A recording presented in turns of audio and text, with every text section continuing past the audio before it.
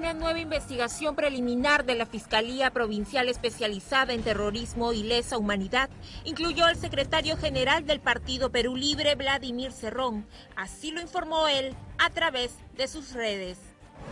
Otra nueva denuncia por terrorismo. ¿A alguien le cabe duda que existe una persecución política severa?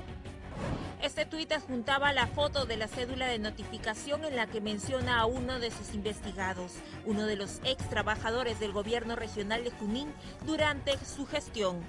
Por disposición del señor fiscal Eneida Aguilar Solórzano, se cumple con notificarle que se adjunta resolución disposición con fecha 3 de agosto del 2021 que dispone realizar diligencias preliminares por el plazo de 120 días contra Alex José Pimentel Vidal y otros por la presunta comisión del delito de terrorismo en agravio del Estado. No es ninguna persecución política, ni el Ministerio Público o el Poder Judicial está haciendo ninguna persecución mm, tras el señor Vladimir Cerrón. Es un hecho preocupante que va contra la seguridad del país, eh, porque el tema de los remanentes del terrorismo que encabezan los Quispe Palomino es una realidad.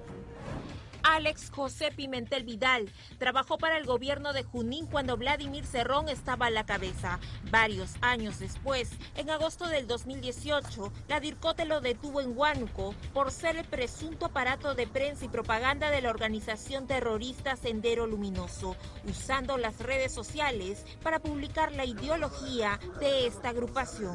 El señor Pimentel era ex trabajador de él y después de su detención Igualmente tuvo algunas eh, manifestaciones de parte del señor Vladimir Serrón, fue personal de confianza.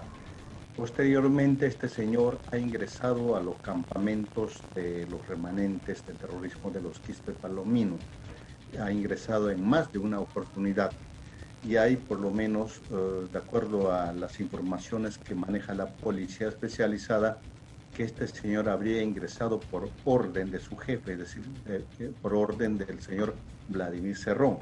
El Poder Judicial, sin embargo, determinó comparecencia, dejándolo en libertad con impedimento de salida del país y desde entonces no se ha presentado en ninguna de las diligencias y está en calidad de no habido.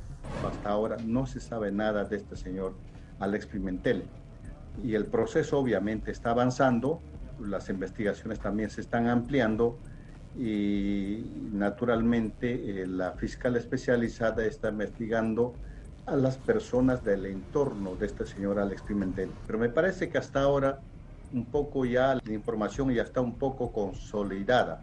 Por eso es que ya están citando a las personas que deberían eh, efectivamente citar para los casos de esclarecimiento, sin descartar que las personas a quienes se les cita en el proceso también podría ser involucrados. Hasta la fecha, Alex José Pimentel Vidal también tiene una orden de captura vigente por el presunto delito de agravio contra la libertad sexual contra una menor de 11 años.